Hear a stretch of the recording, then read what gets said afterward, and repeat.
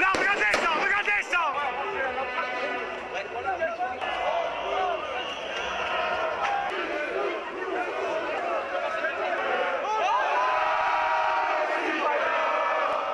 Pour nous, en fait, ça n'a absolument aucun pouvoir.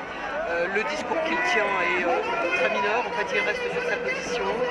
Les gens n'obtiennent rien.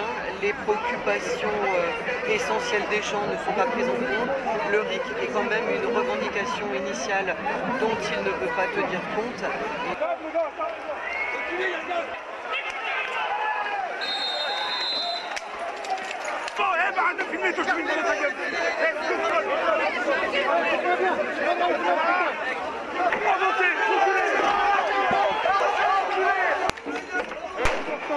Eh